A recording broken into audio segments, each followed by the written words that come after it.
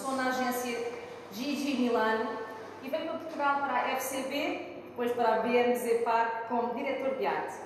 11 anos depois foi para a Young Rubicon e ficou como diretor criativo.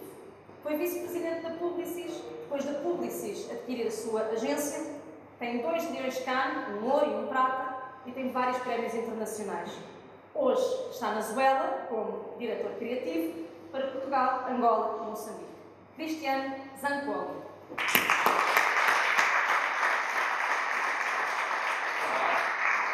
Alô, alô. Olá, boa noite a todos. A quem conhece, quem não conhece. Ok, eh, bem, nesse com esse palco eu posso, gosto mais de assim. Eh, quando recebi este, este convite, estava em Luanda e, e não tinha certeza se conseguia, ou menos, já foi dito que sou italiano, né? portanto o meu sotaque é, mesmo por causa da, da minha origem, não é porque não é porque tive a ver alguma coisa antes. Um, não sabia o certo se conseguia ao menos vir, porque na realidade tinha viagem marcada de regresso para depois da manhã. Um, mas uh, insisti, grandes confusões com o passaporte, com a viagem, não sei se alguém não sei se tem alguma experiência com Angola, se trabalhou com Angola, se viajou para lá, mas de facto não é assim tão fácil uma pessoa é, fazer as coisas como, como nós estamos habituados em outros continentes. É, aquilo que vos trago aqui, portanto, isso é para dizer-vos o quê? Gostaria de ter apresentado, de ter feito a apresentação, enfim, de uma forma mais profissional, é, mas tive que me, tive que me safar, ok? Estava em Luanda, não tinha as coisas todas, portanto, disse, ok, fantástico, deixa eu ver o que é que temos aqui para mostrar, bora lá. Um, e então trago-vos aqui, trago aqui uma série de anúncios que provavelmente você não conhece, porque saíram lá, embora alguns foram uh, reconhecidos internacionalmente, internacionalmente com alguns prémios. Um, como foi dito, eu sou diretor criativo da Zuela para Portugal, para Angola e para Moçambique. Portanto, a minha vida, infelizmente, para, para de um lado para o outro, andar de um lado para o outro. Um, e o meu poiso em Portugal, mas lá está, agora passei um mês e meio em Luanda, daqui a 15 dias volto outra vez para Luanda, depois irei de depois vou para Moçambique, depois para Luanda, depois para Moçambique, depois para Luanda. Enfim, portanto, isso é para vos pedir um bocadinho de paciência, espero não, ter, eh, não ser chato e espero que gostem daquilo que vão ver. Ok, isso foi o anúncio de imprensa que foi criado para uma água que é cristalina, ela que está aqui no canto direito. Eh, e foi criado propositadamente para o dia 5 de junho, que era o Dia Mundial do Ambiente. E quisemos dar uma, uma, uma mensagem para as pessoas não, não desperdiçar água. Eh, em Angola, na zona de Benguela, no norte, é muito famosa por causa dos flamingos. Eh, e daí termos utilizado os flamingos e ter feito esse, esse efeito da água correr pelo, pelo cano baixo. Um, além do anúncio de imprensa, isso foram feitos também para determinados bares, eh, uns uh, autocolantes que foram postos nos lava-loiça, okay? de restaurante, etc, etc. E, o efeito era, era extremamente impactante. Uh, desculpem. Ok. Mesma campanha, dessa vez com o símbolo nacional, que são as palancas, a palanca negra, mesmo efeito, não desperdiçar água para o planeta, 5 de junho, Dia Mundial do Ambiente.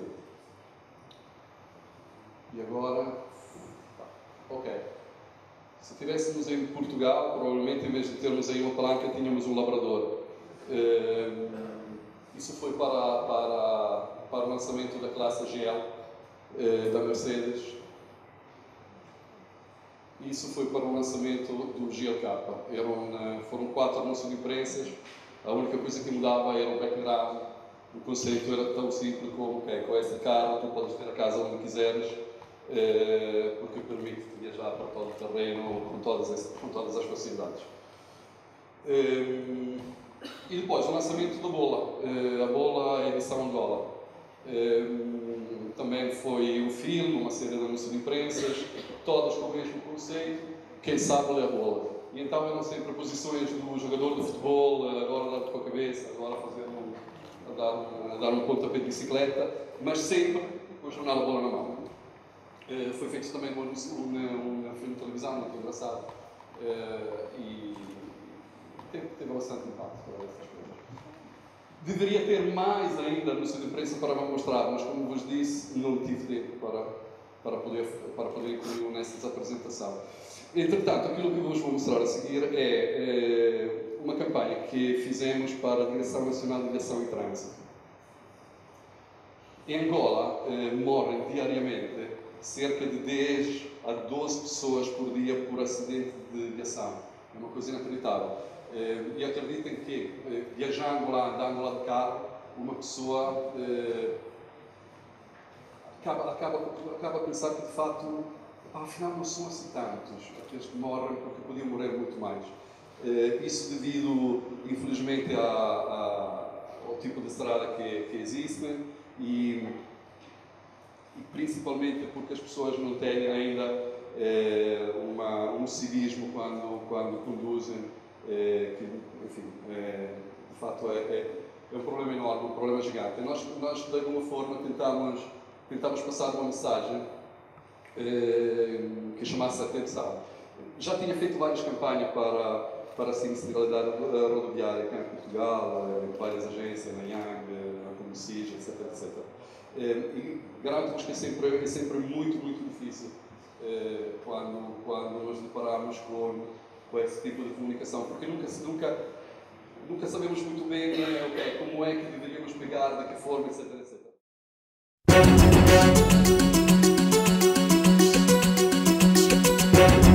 Esta madrugada, um homem de 25 anos não teve nenhum acidente quando saía de um bar onde tinha estado com os amigos. Tudo se passou muito rapidamente, pois quando saiu do local disse que não estava em condições de levar o veículo, tendo-o deixado no parque de estacionamento do referido bar.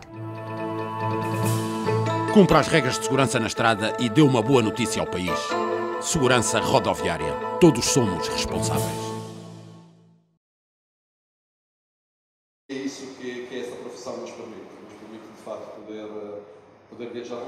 Poder fazer com que as marcas nos acompanhem em viagem longe e, e, e divertirmos, acima de tudo, divertirmos com tudo isso.